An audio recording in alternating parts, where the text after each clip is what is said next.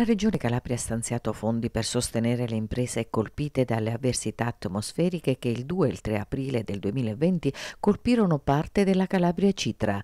Tra essi figurano Spezzano Albanese, Castrovillari, Cassano Loionio, Corigliano Rossano, Altomonte, Terranova da Sibari, Firmo, San Lorenzo del Vallo e eh, 168 aziende saranno indennizzate con fondi che la Regione Calabria ha ottenuto con grandi eh, battaglie dal Ministero delle Politiche Agricole integrati da fondi regionali. Quindi un segnale, un messaggio a chi in quella calamità ha perso parte delle, delle proprie produzioni. Eh, altre iniziative in tal senso con graduatorie su altre calamità saranno emanate di qui a breve con una accelerazione importante perché in questo momento dobbiamo dare sostegno alle aziende agricole calabresi perché è un momento di grande difficoltà.